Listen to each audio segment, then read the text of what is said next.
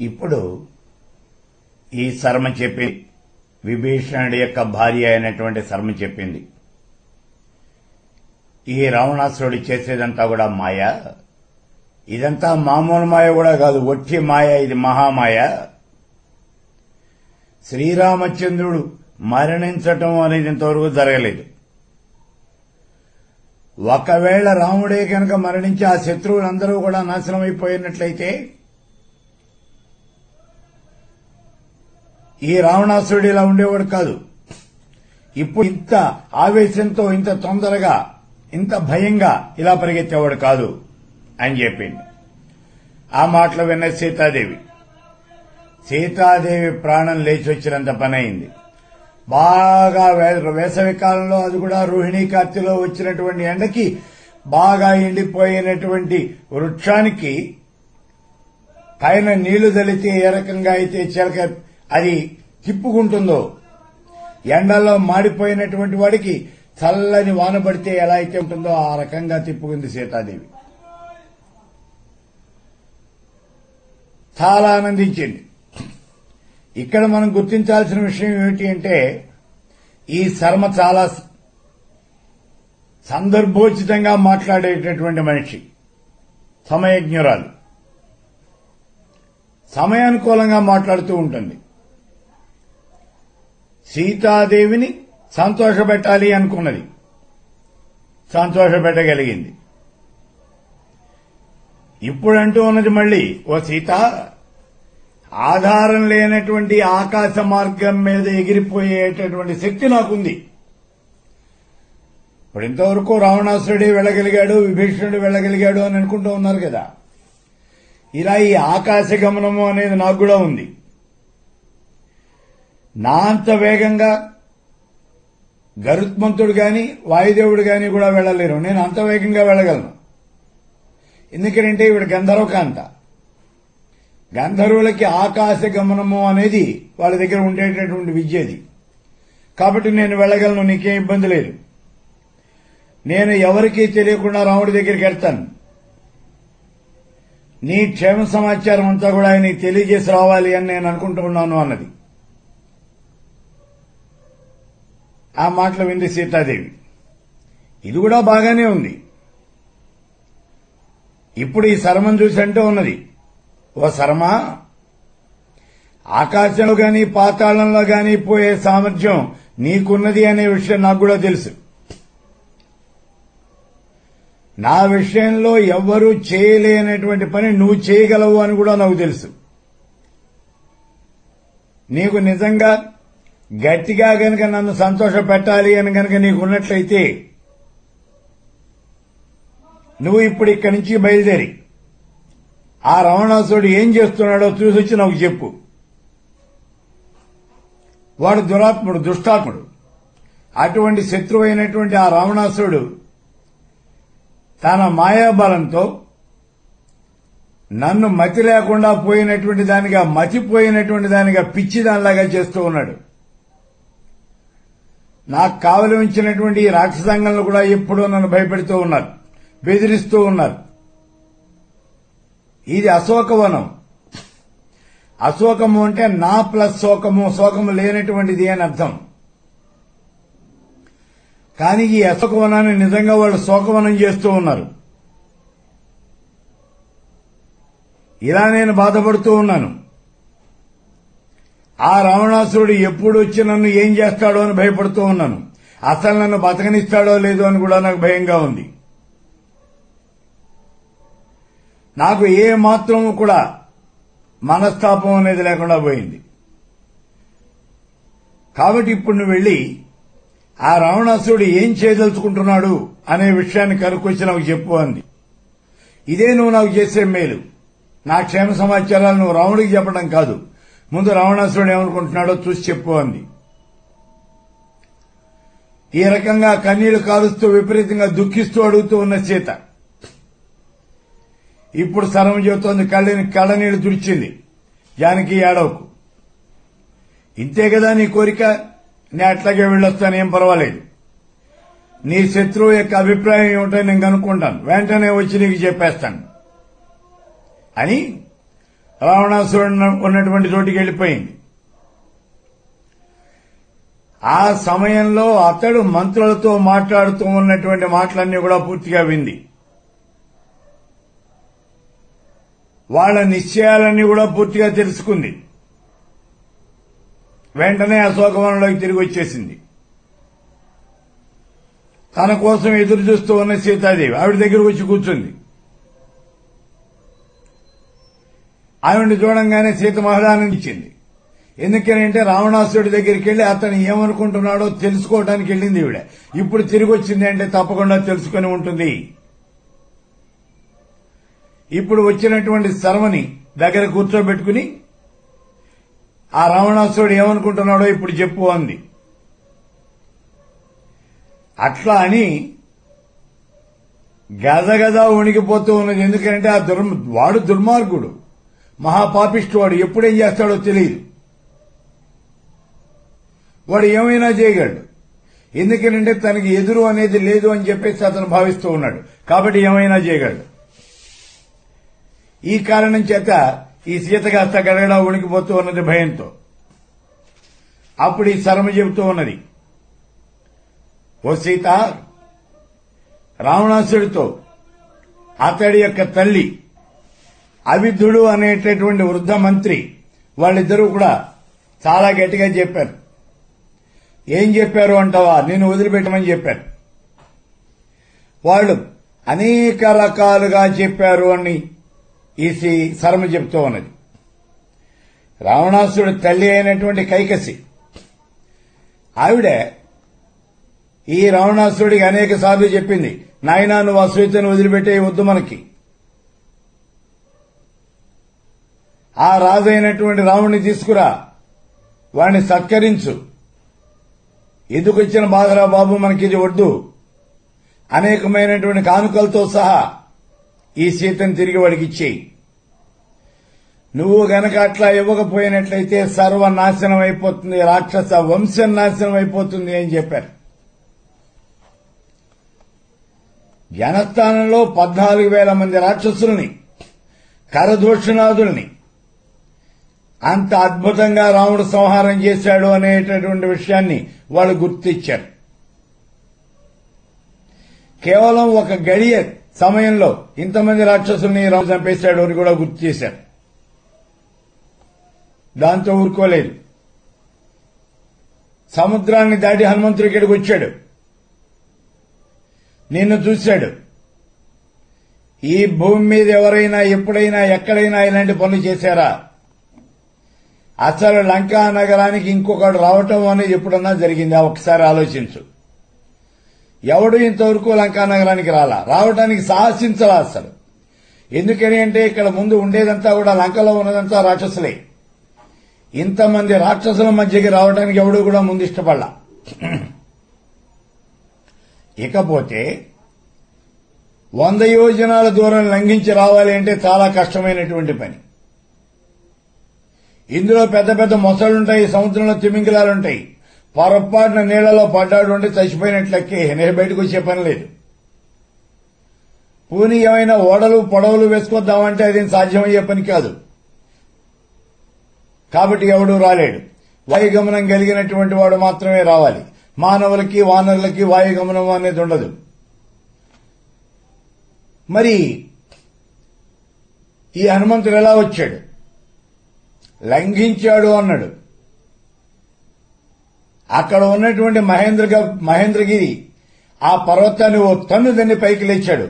ఆ లేవటమే మళ్ళీ ఇక్కడికి వచ్చి ఇసువేల పర్వతం మీద దిగాడు.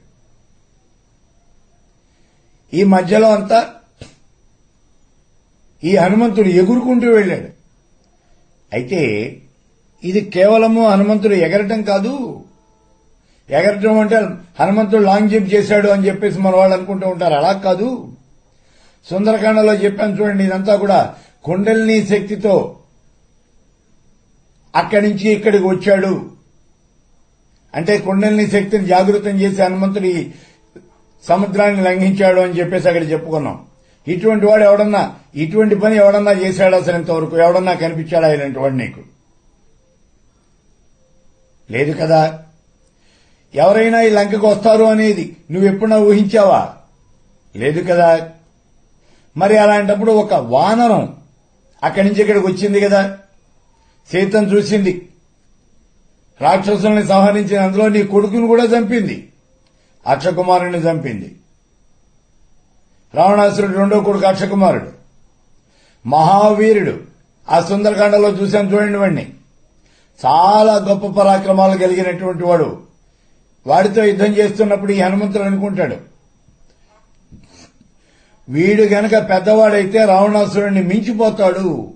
అటువంటి పరాక్రమం కలిగినటువంటి వాడు వాడు. కాబట్టి వీడిని చంపేయాలి ఇంకా బతకనీయకూడదు అని చెప్పేసి ఆలోచిస్తూ ఉన్నాడు ఆ సమయంలో హనుమంతుడు. ఈ అక్షకుమారుడు ఆకాశంలోకి వెళ్ళాడు అక్కడి నుంచి ఒక్క దూకి దూకి రెండు కాళ్ళతోనూ హనుమంతుడి యొక్క గుండెల మీద తందాము అని చెప్పేసి వాడి యొక్క ప్రయత్నం. అలా ఆకాశంలోకి ఎగిరినటువంటి ఆ అక్షకుమారుడు కింద దిగబోయేటటువంటి సమయంలో హనుమంతుడు కూడా ఆకాశంలోకి ఎగి అక్ష ఎగిరి అక్షకుమారుడి యొక్క రెండు కాళ్ళు పట్టుకుని గీరా గీరా తిప్పి నేలకేసి కొట్టాడు. ఆ దెబ్బతో అక్షకుమారుడి యొక్క తలకాయే కాదు ఒళ్ళు కూడా ముక్కలు ముక్కలైపోయింది. పగిలిపోయింది ఎక్కడికక్కడ. తల అనేక ముక్కలైపోయింది. శరీరం కూడా విచ్ఛిన్నమైపోయింది. అలా కింద పడి చచ్చిపోయాడు. కాబట్టి నీ కుమారుడైనటువంటి అక్షకుమారుని కూడా చంపేశాడు. నీ దగ్గరికి వచ్చాడు. నిన్ను చూశాడు. లంకా దహనం చేశాడు. కాబట్టి ఇవన్నీ కూడా నువ్వు ఊహించినటువంటివి కాదు. ఊహించనటువంటి విషయాలు ఎన్నో జరిగినాయి. కుమార రావణ చాలా జాగ్రత్త. ముందు చూపుతూ ఉండు. ఇవన్నీ వీటన్నింటినీ బట్టి చూసినట్లయితే ఆ వానరులు సామాన్యులైనటువంటి వాళ్ళు కాదు వాళ్ళు తప్పకుండా నీ దగ్గరికి నీ మీద యుద్ధం నీతో యుద్ధం చేస్తారు. నీ మీద యుద్ధంలో గెలుస్తారు వాళ్ళు. కాబట్టి వంశనాశనం చేయొద్దు. నువ్వు వంశనాశనం చేయొద్దు. ఆ సీతని రాముడికి అప్పగించు. అనేకమైనటువంటి బహుమానాలు కూడా ఇచ్చి రావణ్ణి సత్కరించు అని చెప్పారు. వీళ్ళు ఏం చెప్పినా ఎన్ని చెప్పినా సరే ఆ రావణాసురుడు మాత్రం ఒప్పుకోవాల మీరు ఏమైనా చెప్పండి నేను మాత్రం వదిలిపెట్టను అన్నాడు. సీతను వదిలిపెట్టను అన్నాడు అంతే ఇంతకన్నా మూర్ఖుడు ఇంకోటి లేడు అసలు. సామాన్యమైనటువంటి మూర్ఖుడు కాదు వీడు చూడండి పరమ మూర్ఖుడు ఎందుకనే అంటే తప్పు చేయటం అనేది ఎవరైనా చేస్తారు. ఇందులో పెద్ద విచిత్రం అనేది ఏం లేదు. తప్పు ఎవడైనా చేస్తాడు. ఏ మానవుడైనా చేస్తాడు. తప్పు జరిగిపోయింది. ఏదో పొరపాటున ఆవేశంలో సీతం ఎత్తుకొచ్చేసాడు బాగానే ఉంది. తర్వాత పరిస్థితుల్ని బేరీజు గనక వేసుకున్నట్లయితే ఆ సీతని ఇక్కడ అట్టిపెట్టుకుంటే తనకి వచ్చేవంటి ఇబ్బందులా సుఖమా ఏది ఎక్కువ అనే విషయం ఆలోచించుకుంటే ఇబ్బందులే ఎక్కువ కనిపిస్తూ ఉన్నాయి. ముందు సీతను తీసుకొని రావటం వల్ల లంకలోనే రాముడి ప- ఈ రావణాసురుడి పట్ల విముఖత అనేది కొంతవరకు వచ్చింది. వాళ్ళు వారిది కట్టడానికి వస్తున్నారు అని తెలిసినప్పుడు ఇంకా విముఖత పెరిగింది. వారిది కట్టారు సముద్రాన్ని దాటి లంకలో ప్రవేశించారు అని తెలియగానే ఇంకా విముఖులైపోయారు రాక్షసులు. చాలా మంది చెప్పారు చూడండి ఇప్పుడు ఒకళ్ళు కాదు. వానర బలాన్ని చూసొచ్చినటువంటి సుఖ సారుణులు చివరికి చారుడైనటువంటి శార్దూరుడు వాడు కూడా చెప్పాడు.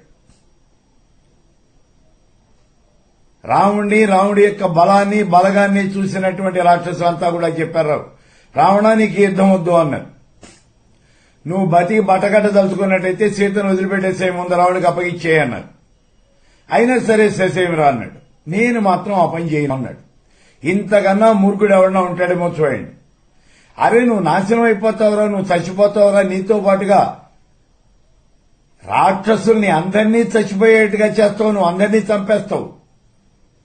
ఇంత విడమర్చి విషయాలు చెబుతూ ఉన్నప్పటికీ జరగబోయే విషయాలు కళ్ళకు కనిపిస్తూ ఉన్నాయి అతనికి. అతడే చూస్తూ ఉన్నాడు రాముడి యొక్క బలాన్ని చూసి ముందు భయపడ్డాడు. అయినప్పటికీ ఆ సీత మీద వ్యామోహం ఎక్కువగా ఉంది. రాక్షసుడు కదా తమోగుణ ప్రభావుడు. మొండితనం బాగా ఎక్కువ వచ్చింది ఎందుకు వదిలిపెట్టాలట? ఏం వదిలిపెట్టబోతే చంపేస్తాడా? చంపమని చూద్దాం. అలా అతను ఏమీ చంపలేడు. ఎందుకనంటే నేను కూడా బలవంతుణ్ణే. ఇది ఒక రకమైనటువంటి ఒక నమ్మకం ఒక ఉన్మాదం ఇది. నమ్మకం కూడా కాదు ఉన్మాదం. అదే మూర్ఘత్వం చూడండి మూర్ఖులైనటువంటి వాళ్ళకి మనం ఏం చేయలేము. అందుకే భద్రువారి చెప్తాడు ఇక్కడ చూడండి తివిరి ఇసుమన తైలంబు తీయవచ్చు. మృగతృష్ణలో నీరు తాగవచ్చు. కుందేటి కొమ్ము సాధించవచ్చు. చేరి మూర్ఖుని మనసు రంజింపరాదు అన్నాడు. మూర్ఖుని ఆనందింపజేయలేం మనం. ఇసగ పిండి నూనె తీయచ్చు అంటూ ఉన్నాడు. ఇసలోంచి నూనె ఎక్కడ వస్తుందండి? రాకపోయినా సరే అటువంటి ప్రయత్నమైనా చేయొచ్చు.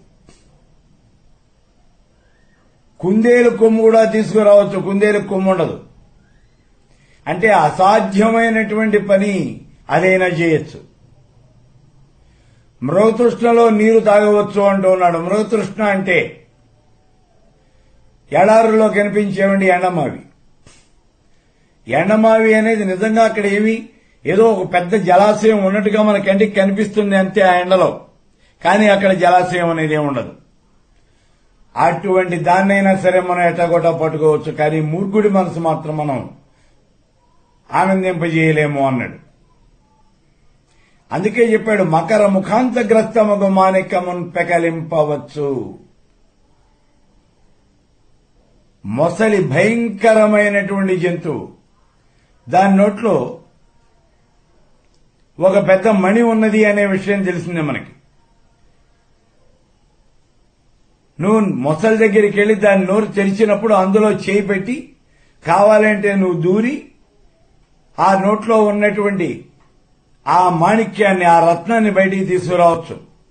అంటే అంత కష్టమైనటువంటి పనైనా చేయొచ్చు. భయంకరమైనటువంటి విష సర్పాలని కాలకూట విషాన్ని కక్కే సర్పాలు నెత్తిన పెట్టుకోవచ్చు. ఏం పర్వాలేదు. కానీ మూర్ఖుణ్ణి మాత్రం మనం ఆనందింపజేయలేం.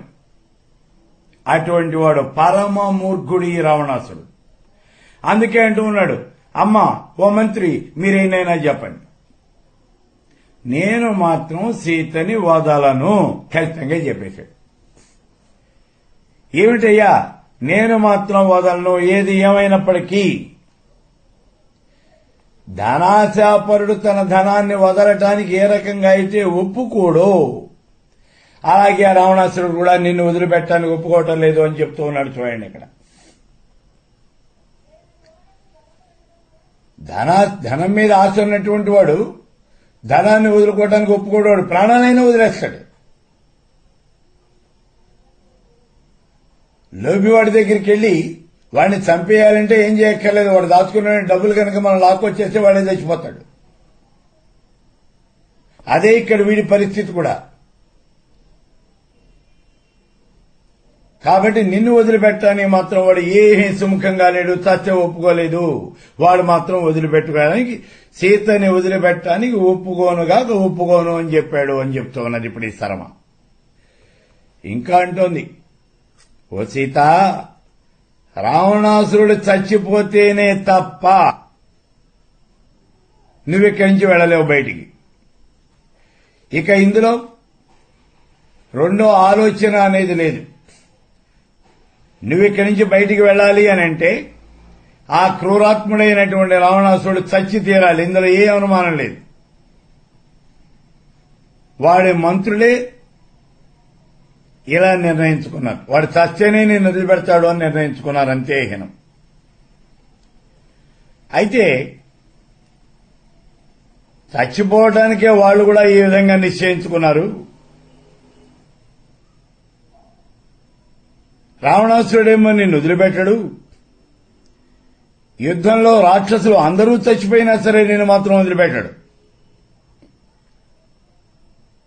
వాడు కూడా చచ్చిపోతేనే నిన్ను వదిలిపెడతాడు. ఒక్కటే లెక్కేను. లేకపోతే మాత్రం వదిలిపెట్టాడు.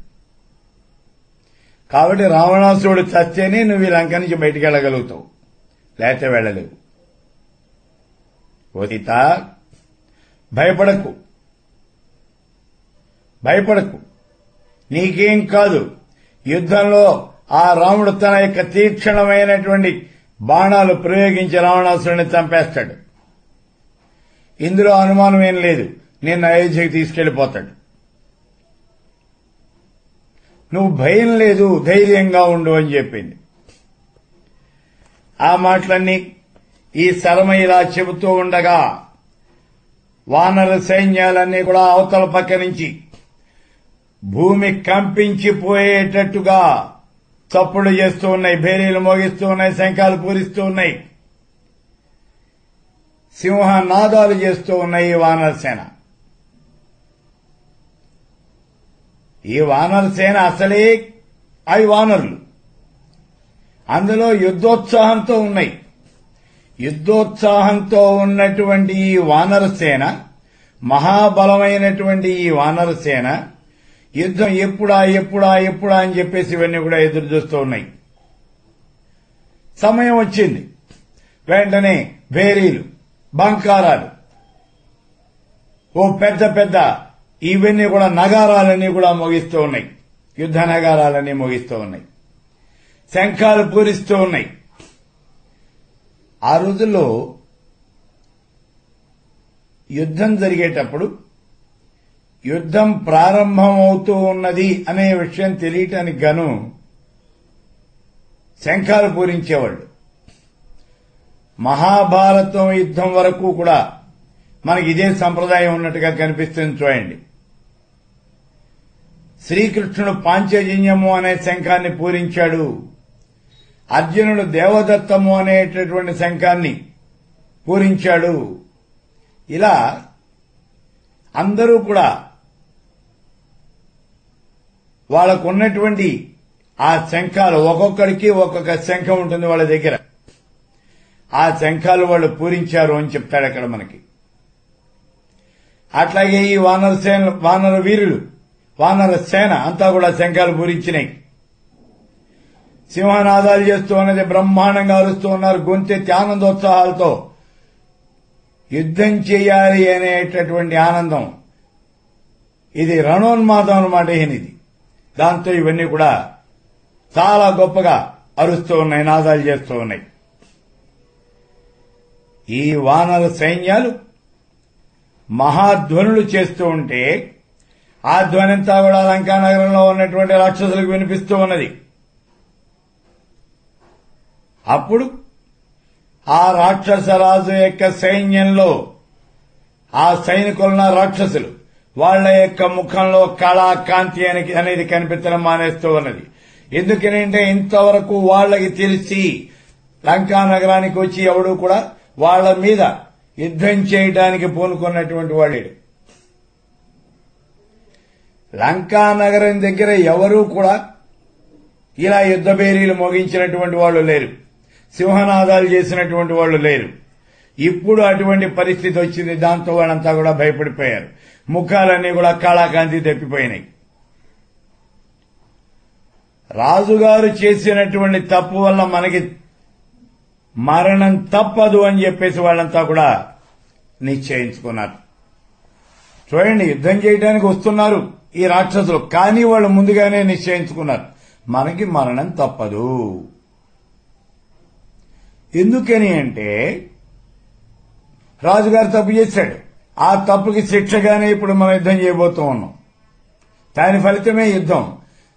యుద్ధం యొక్క ఫలితం ఏమిటి అంటే మన మరణం. అంతే. కాబట్టి వాళ్ళంతా కూడా చచ్చిపోవడానికి సిద్ధమైపోయారు ఇక. ఈ విధంగా శంఖాలు భేరీలు భాంకారాలు నగారాలు అన్నీ కూడా మోగుతూ ఉన్నాయి. అలా మోగుతూ ఉండగా రఘువంశంలో జన్మించినటువంటి ఆ శ్రీరామచంద్రుడు తన యొక్క సేనంతా కూడా వెనకాల పెట్టుకుని లంకా పట్టణం మీదకి యుద్ధానికి బయలుదేరాడు. చాలా జాగ్రత్తగా చూడండి తన యొక్క సైన్యాన్ని వెనక పెట్టుకొని. అంతేగాని సైన్యాన్ని మీరు ముందేనండి నేను వెనకాల వస్తున్నాను అని చెప్పాలా? అది వీరుడి లక్షణం కాదు. వీరుడైనటువంటి వాడు యుద్ధం చేస్తాడు రణరంగంలో దిగుతాడు చేత్తో కత్తి పట్టుకుంటాడు లేకపోతే వాడి తోచదు వాడు ఆగలేడు అసలు. వాడు వీరుడే కాదు. వీరుడైనటువంటి వాడు స్వయంగా యుద్ధంలో పాల్గొంటాడు. అదే పని చేయబోతూ ఉన్నాడు ఇప్పుడు శ్రీరామచంద్రుడు. సైన్యాన్ని వెంట పెట్టుకుని వచ్చాడు. ముందు తాను యుద్ధానికి వచ్చాడు. తనకి సహాయం చేయటానికి వెనకాల సైన్యాన్ని తెచ్చుకున్నాడు. ఇప్పుడు లంకలో ఉన్నటువంటి రాక్షసరాజు అయినటువంటి రావణాసురుడు కూడా వీళ్ళు చేస్తూ ఉన్నటువంటి ఈ ధ్వని అంతా కూడా విన్నాడు. వీళ్ళు వాయిస్తున్నటువంటి భేరీలు భాంకారాలు ఈ మృదంగాలు తప్పెట్లు తాళాలు అన్ని విన్నాడు. ఒక్క క్షణం ఆలోచించాడు. పక్కన ఉన్నటువంటి మంత్రుల వంక చూశాడు. అప్పుడు ఒక్కసారిగా అరుస్తూ ఉన్నాడు. ఓ సచివులారా ఈ రాముడు సముద్రం దాటి రావటాన్ని గురించి అతడి పరాక్రమాన్ని గురించి వానర సైన్యాన్ని గురించి మీరు చెప్పినంతా కూడా నేను విన్నాను. మీరంతా కూడా మంచి పరాక్రమంతో ఉండి కూడా అందరికీ రాముడి యొక్క పరాక్రమాన్ని గురించి తెలుసుండి కూడా ఇప్పుడు మీరు ఒకళ్ళని ఒకళ్ళని చూసుకుంటూ వాళ్ళని వీళ్ళు చూస్తున్నారు వీళ్ళని వాళ్ళు చూస్తున్నారు గుటకలు మింగుతూ ఉన్నారు. ఇదంతా కూడా నేను చూస్తూ ఉన్నాను అన్నాడు. వాళ్ళని వీళ్ళు వీళ్ళని వాళ్ళు చూస్తూ గుటకలు మింగుతూ ఉన్నారు అంటే రాముడు యుద్ధానికి వచ్చాడయా? ఏం చేద్దాం?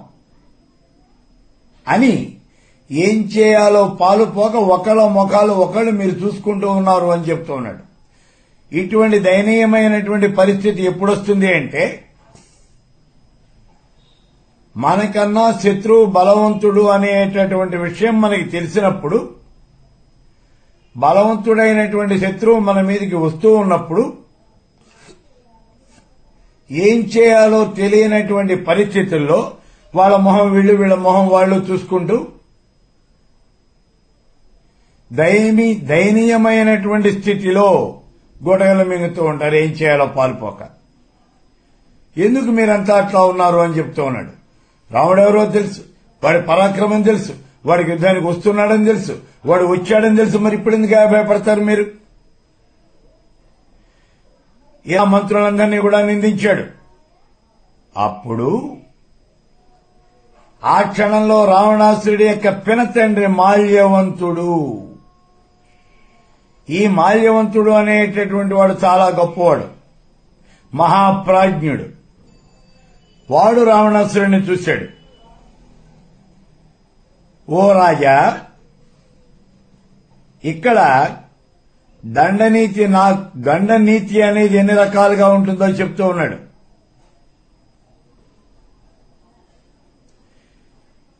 అన్వీక్షకి త్రయీ వార్త దండనీతి అనేటటువంటి నాలుగు విద్యలు అని చెప్తున్నాడు మొత్తం విద్యలు నాలుగు. దండనీతి అనేది అందులో ఆఖరిది. అన్వీక్షకి త్రయీ వార్త. ఈ మూడు కూడా ఇక్కడ ఉన్నటువంటి పద్ధతులు అన్నమాట ఇవి. ఈ అన్ని విద్యల్లోనూ కూడా శిక్షి సుశిక్షితుడై రాజనీతిని అనుసరించి రాజ్యాన్ని పరిపాలించేటటువంటి రాజు ఎప్పుడూ కూడా అనేక సంవత్సరాలు మహదైశ్వర్యాలు అనుభవిస్తూ రాజ్యాన్ని చేస్తాడు. ఇందులో ఏ అనుమానం లేదు. శత్రువులందరినీ వశపరుచుకుంటాడు. ఇందులో కూడా అనుమానం లేదు. అటువంటి మహారాజు దేశ కాల మాన పరిస్థితుల్ని బట్టి శత్రువులతో సంధి చేసుకోవటమా యుద్ధం చేయటమా అనేది నిర్ణయించుకోవాలి. శత్రువు తనకన్నా బలవంతమైనటువంటి వాడు బలమైనటువంటి వాడు అని తెలిసినప్పుడు వాడితో సంధి చేసుకోవాలి. శత్రువు కన్నా తానే ఎక్కువ బలమైనటువంటి వాడు అని తెలిసినప్పుడు శత్రువుతో యుద్ధం చేసి వాడిని ఓడించాలి. మనకి బలం ఉంటేనే యుద్ధం చేసి ఓడించాలి. లేకపోతే మనం యుద్ధం చేసి వాడిని ఓడించలేము. వాడు బలమైన వాడైతే వాడితో సంధి చేసుకోవాలి. రావణ ప్రస్తుత పరిస్థితి చూస్తూ ఉంటే శత్రువు మనకన్నా కూడా బలమైనటువంటి వాడు అని నాకు అనిపిస్తూ ఉన్నది. కాబట్టి శత్రువుతో సంధి చేసుకోవటము అనేది అన్ని రకాలుగాను మంచిది అని నేను భావిస్తూ ఉన్నాను. ఇక ఈ రాముడితో విరోధం రావడానికి కారణం ఏమిటి అంటే సీత. దేని మూలంగా అయితే ఈ విరోధం అనేది వచ్చిందో దాన్ని తీసుకెళ్ళి ముందు ఆయనకు అప్పగిచ్చేయి. నువ్వు సీతని కనుక తిరిగి రాముడికి ఇచ్చేసినట్లయితే ముందు విరోధం అనేది పోతుంది. ఇంకా యుద్ధం జరగదు. వాళ్ళు మనం ఇద్దరం కూడా సురక్షితంగా ఉండిపోతాం. దేవతలు గంధర్వులు మహర్షులు అందరూ కూడా ఆ రాముడికి విజయం కావాలి అని చెప్పేసి వాళ్ళంతా కోరుతూ ఉన్నారు. యుద్ధం చేసేది నువ్వు రాముడే మీరిద్దరే. నీ తరఫున రాక్షస సేన ఆయన తరఫున వానర సేన నుంచి ఉన్నంతవరకే యుద్ధం చేసేవాళ్ళు. కానీ లోకంలో తపో సంపన్నులు బోళ్ళు మంది ఉన్నారు. దేవ గంధర్వ యక్ష కిన్నెర కింపురుష సిద్ధ సాధ్యగణాలు నాగగణాలు గరుడు గణాలు అన్ని కూడా రాముడే యుద్ధంలో గెలవాలి అని చెప్పేసి కోరుతూ ఉన్నాయి. ఎందుకని అంటే గతంలో ఈ రావణాసురుడు అందరినీ ఇబ్బంది పెట్టాడు. దేవతల మీదకి యుద్ధానికి వెళ్ళాడు దేవతలందరినీ ఓడించాడు వాళ్ళు నానా కష్టాలు పెట్టాడు. మహర్షులు ఎవరు కూడా యజ్ఞగాది క్రతువులు చేయకూడదు అన్నాడు వాళ్ళని ఇబ్బంది పెట్టాడు. గంధర్వ కాంతల్ని చెరబట్టాడు వాళ్ళని ఇబ్బంది పెట్టాడు అవమానాలు పాలు చేశాడు. అప్సరాంగనని చెరబట్టాడు వాళ్ళని అవమానాలు పాలు చేశాడు. నాగలోకానికి వెళ్ళాడు వాళ్ళని అవమానాల పాలు చేశాడు. ఒకళ్ళనేటి ఎవరిని చేయలేదు అసలు? అసలే బలవంతుడు అందులో వరబలం కూడా ఉన్నటువంటి వాడు. కాబట్టి ఒళ్ళు తెలియనటువంటి ఆవేశంలో అనేక రకాలైనటువంటి తప్పు పనులు చేశాడు. కాబట్టి ఇప్పుడు ఈ మాల్యవంతుడు చెబుతున్నాడు రావణ దేశంలో మహా తపస్సంపన్నులైనటువంటి మహర్షులు దేవతలు సిద్ధులు చారణులు వీళ్ళంతా కూడా శ్రీరాముడి యొక్క విజయాన్నే కోరుతూ ఉన్నారు. నువ్వు జయించాలని ఎవడు ఒకటి కూడా అడగట్లా. వాళ్ళంతా రాముడే జయించాలి అని చెప్పేసి అనుకుంటూ ఉన్నారు కాంక్షిస్తూ ఉన్నారు. కాబట్టి నీకు రాముడితో విరోధం అనేది వద్దు. నువ్వు రాముడితో యుద్ధం యుద్ధం చేయొద్దు. వాడితో విరోధం వద్దు ముందు సంధి చేసుకో అన్నాడు. ఇంకా చెబుతూ ఉన్నాడు. రావణ ఒక్క మాట గుర్తుపెట్టుకో. ఆ బ్రహ్మదేవుడు సురాసురులు ధర్మాధర్మాలు అనేటటువంటి రెండు జంటల్ని సృష్టించాడు. ధర్మము అనేది దేవతల దగ్గర ఉంది అధర్మము అనేది రాక్షసుల దగ్గర అసురుల దగ్గర ఉంది.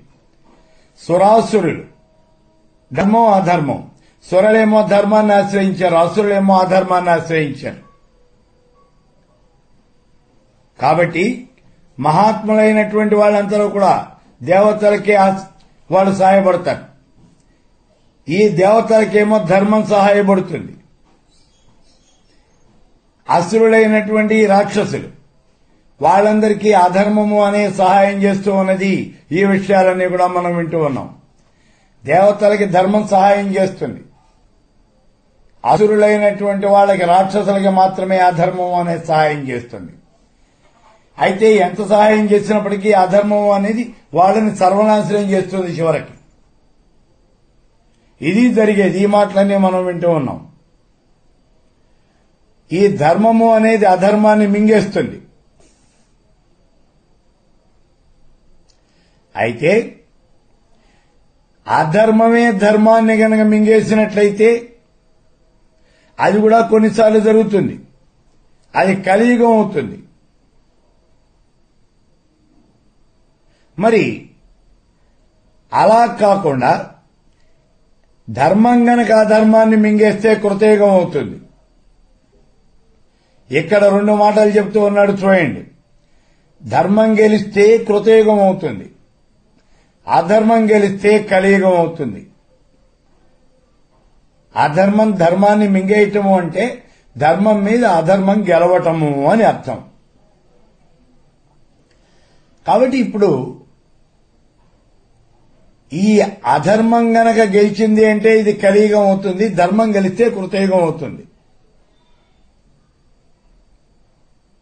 అయితే నువ్వు దిగ్విజయం కోసం లోకాలన్నీ తిరిగేటప్పుడు ధర్మ నాశనం చేశావు. ఏమిటి అంటే ఆ రోజు నీకు కావాల్సింది కేవలం విజయం నీ విజయం కోసమని ధర్మాన్ని నాశనం చేసి పారేశావు. అధర్మ మార్గాన్ని అవలంబించావు. అందువల్ల ధార్మికులైనటువంటి వాళ్ళంతా కూడా నీకు శత్రువులైపోయారు. ఇప్పుడు వాళ్ళు మనకన్నా బలవంతులయ్యారు. ఎందుకనంటే ఈ ధార్మికులైనటువంటి వాళ్ళు నీతో అవమానించబడినటువంటి వాళ్ళంతా కూడా ఒక చోట చేరారు. వాళ్ళంతా కలిసి ఆలోచించారు. నువ్వు ఏ రకంగా నాశనం అవుతావో వాళ్ళు ఆలోచించారు. అది వాళ్ళు చేసినటువంటి పని. వాళ్ళు ఇప్పుడు చాలా బలవంతులైపోయారు. నీ అజాగ్రత్త వల్ల అధర్మము అనేటటువంటిది. బాగా పెరిగిపోయింది. అధర్మాన్ని పెరగనీయకూడదు. అధర్మము అనేది బాగా పెరిగిపోయింది. అక్కడ నువ్వు జాగ్రత్త తీసుకోవాలా? అధర్మం పెరిగిపోతే ఎవరు చూస్తూ ఊరుకోరు. ఇప్పుడు ధర్మము అనేది ఈ అధర్మాన్ని మింగేస్తుంది. అంటే మనందరినీ కూడా ఈ ధర్మం మింగేస్తుంది అని చెప్తూ ఉన్నాడు. ఈ ధర్మము అనేది దేవతలకు ఎప్పుడూ కూడా అనుకూలం చేస్తూ ఉంటుంది. వాళ్ళకే సాయపడుతూ ఉంటుంది అని చెప్తూ ఉన్నాడు. ఎందుకంటే ఇక్కడ గుర్తుపెట్టుకోవాల్సిన విషయాలు కొన్ని ఉన్నాయి. ఏమిటి అంటే ఇక్కడ పరమేశ్వర స్వరూపానికి ధర్మం అనేది ఆయుధం. ఎవరినైనా సంహరించాలి అంటే ధర్మ సంస్థాపన చేయడం కోసమే వాళ్ళని సంహరిస్తాడు చూడండి. అందుకే పరమేశ్వరుడు ధర్మ సంస్థాపనార్థాయ సంభవామి ఇగే ఇగే అంటూ ఉన్నాడు. కేవలం ధర్మ సంస్థాపన కోసమే మళ్ళీ మళ్ళీ నేను ఈ లోకంలో జన్మిస్తాను అని చెప్తూ ఉన్నాడు ఇక్కడ గీతలో భగవానుడు.